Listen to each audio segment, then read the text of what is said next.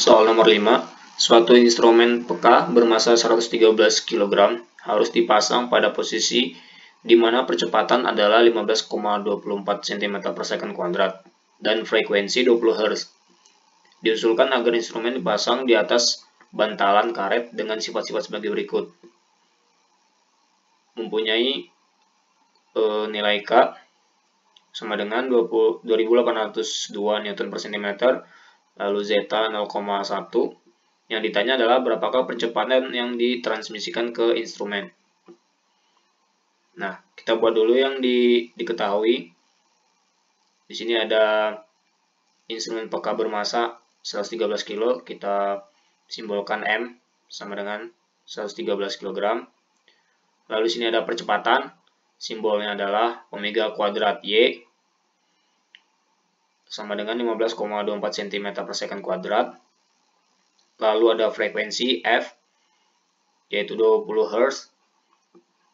Lalu ada K, 2802 Newton per cm. Lalu ada zeta 0,1. Yang ditanya adalah percepatan yang ditransmisikan, berarti omega kuadrat X.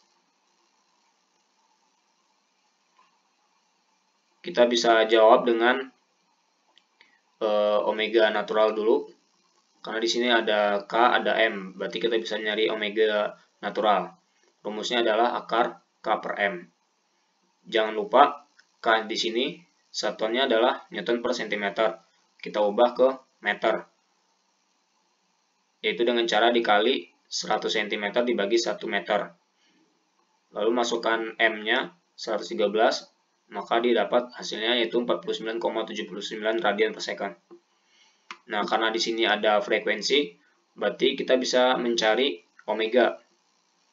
Omega sama dengan 2pi kali F. Sama dengan 2pi kali 20 Hz.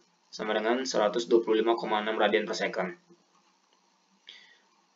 Dari yang diketahui, ada data percepatan Percepatan ini dimiliki oleh instrumen peka.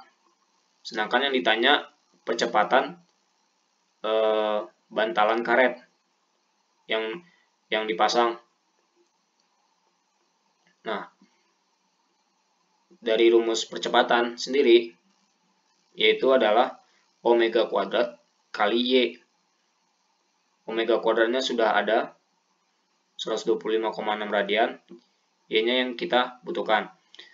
Lalu omega kuadrat Y atau percepatan juga sudah ada. Maka kita bisa mendapatkan Y atau amplitudo dari instrumen peka. Tinggal kita bagi saja omega kuadrat Y dibagi omega kuadrat. Maka dapat hasilnya 0,000965 cm. Kita nggak merubah satuannya, nggak apa-apa. Kita lanjut ke e, rasio antara X dan Y.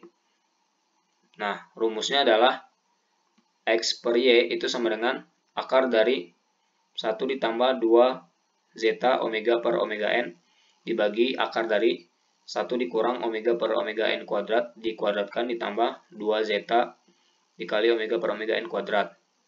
Nah, tinggal kita masukin angkanya. Eh, di sini saya pisah dulu omega per omega n.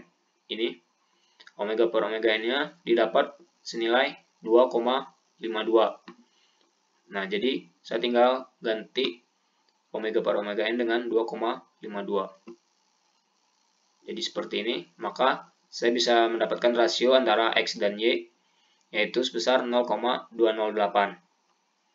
Nah, setelah dapat uh, rasio dari X dan Y, saya bisa mencari nilai X itu sendiri berapa. Dengan cara kita masukkan X per Y dikali Y, Y yang didapat tadi, amplitudo dari instrumen peka. Nah, maka saya bisa masukkan ganti nilai X per Y-nya dengan 0,208, Y-nya dengan 0,00965, maka didapat amplitudo dari instrumen yang ada di bantalan karet. Didapat X sama dengan 0,5 0,002 005 cm. Sini saya tidak mengubah satuan cm ke meter. Nah, lalu yang ditanya tadi adalah percepatan kan? Percepatan dari instrumen e, bantalan karet. Instrumen bantalan karet sama kayak instrumen peka yaitu omega kuadrat dikali x. Omega kuadratnya ada omega kuadrat 125,6 radian per second. Sedangkan x-nya barusan sudah kita dapatkan 0,002 005 cm. Jangan lupa omega-nya dikuadratkan lalu dikali dengan x. Maka hasilnya adalah 3,166 cm per second kuadrat.